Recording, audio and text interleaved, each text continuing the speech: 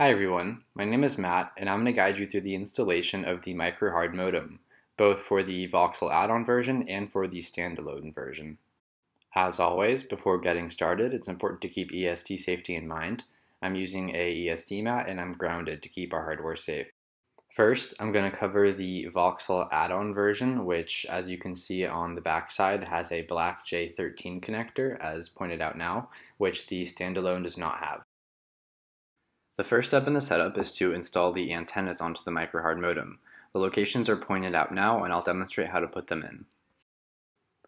Carefully align the antenna to the connector on the board and give it a firm push down and it should click into place.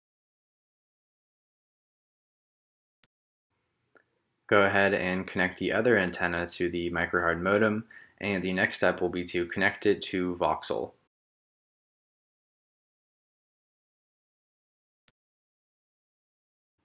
Demonstrating now on VOXL Flight, although the process is the same on VOXL, locate the J13 connector on both your MicroHard modem and on VOXL, and go ahead and gently press those two together and they should fit and click into place.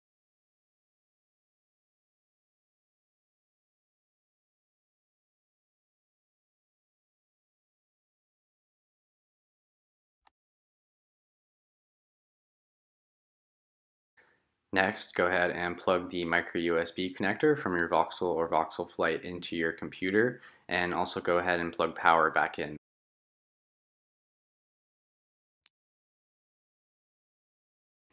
Now I'll meet you on the computer for the software installation.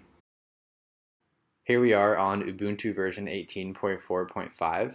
On the right side I have the MicroHard Modem Quick Start open that has all the information that you need for the setup.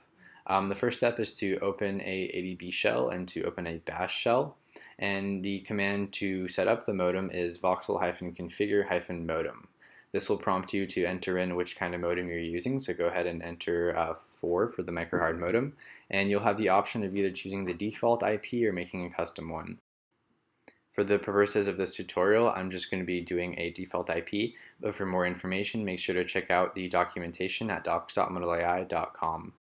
A voxl modem service will now be enabled and started in the background, and this service can be disabled at any time by running systemctl disable voxl-modem and re-enabled by running systemctl enable voxl-modem.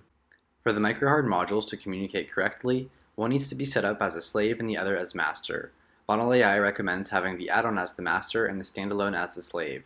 To reset the modules to default settings, hold the S2 button shown on screen now for 10 seconds. Firmly hold down the button and after 10 seconds you should see the LEDs on the MicroHard module start to flash. I'll now go through the installation of the standalone MicroHard modem, which requires a external power source for which I'll be using this DC power supply. The first step in the installation is to install the LTE antennas just as with the add-on board. The process is the same, just line up the antennas onto the connectors and firmly press them down and they should fit into place.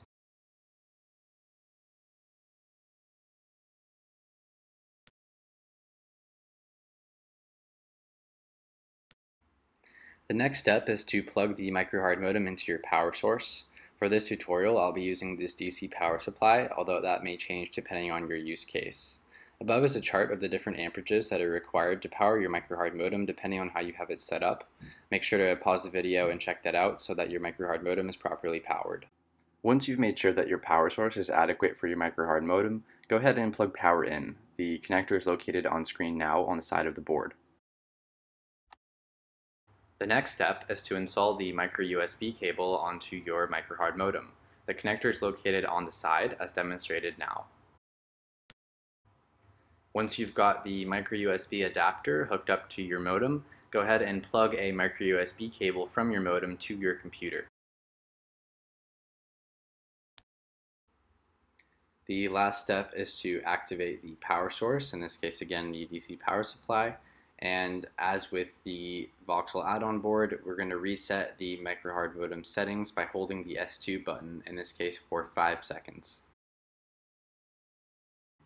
It's the same process as with the VOXL add-on. The location is shown on screen now. Go ahead and just firmly hold that down for 5 seconds and you'll see the LEDs blink on the modem. I'll meet you now on Ubuntu to see how the microhard modem is connected. Here we are again on Ubuntu version 18.4.5. If you open up your settings and go down to network, you should see that the microhard modem is properly detected by your computer. A microhard network is now created that allows your PC to communicate with VOXL. If you have any further questions, check out the documentation at docs.modalai.com and I hope this was helpful. Thanks for watching.